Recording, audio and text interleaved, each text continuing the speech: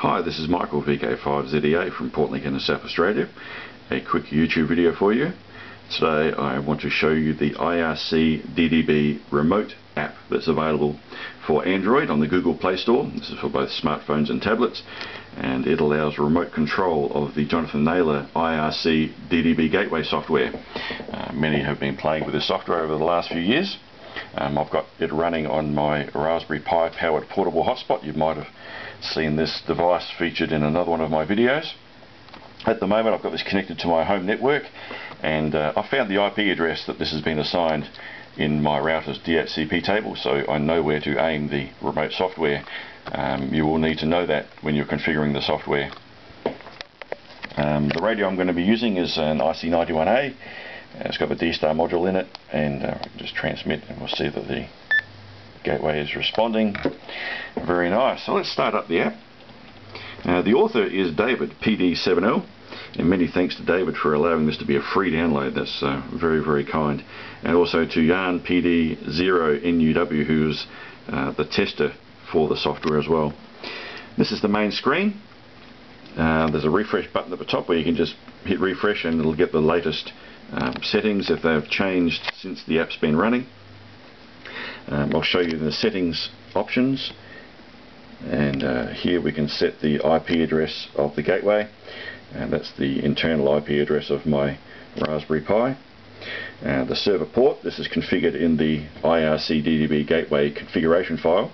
I've got mine set at 19,999 and also the password um, five characters only. Um, I only use this internally on my network. Um, you can potentially open this up uh, to access via the internet if you forward the appropriate port through to this uh, to your gateway software on your internet router. Um, I think it's fairly secu uh, secure, mainly due to the obscurity of the software. I don't think many port scanners would know what to do with IRC DDB Gateway if they found it open on the internet. You can also select up to four uh, servers in the configuration, so you don't have to go into the settings to if you, if you have multiple gateways you want to control.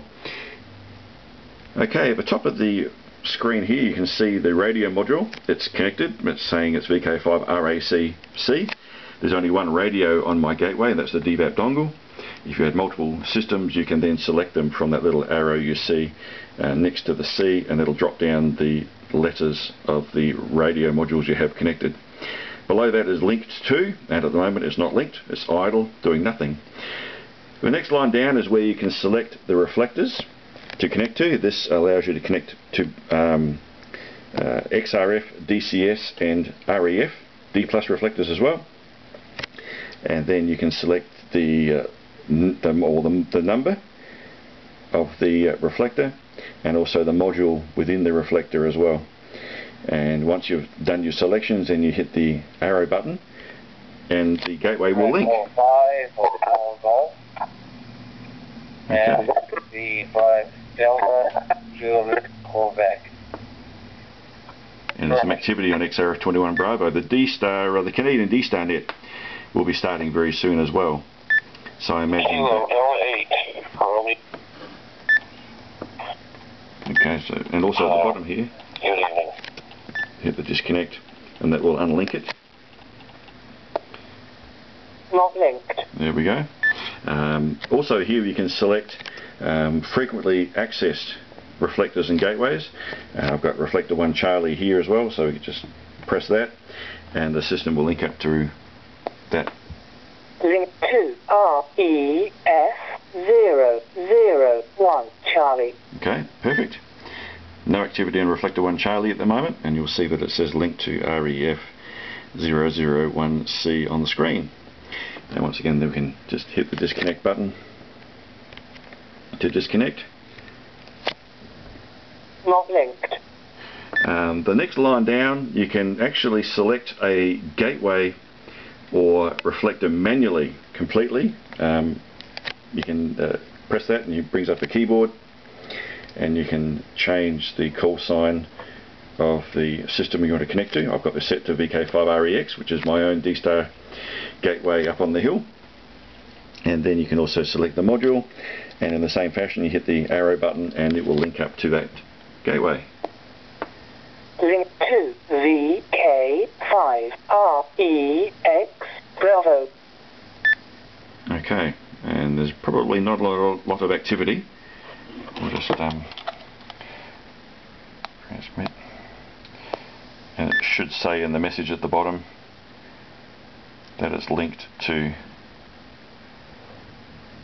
VK5REXB. There we go. And once again we can disconnect and it'll say not linked. Not linked. So that's basically how the app works. I'll link back up to the uh, XO21 Bravo for the Canadian D-StarNet. And there we go. Was that Delta Zulu Quebec? Uh, it's good, VE7FKY. Things are about to start. Okay, this is Michael, VK5ZEA from Port Lincoln in South Australia. I hope you've enjoyed this video. Seven threes for now, and we'll talk to you again soon.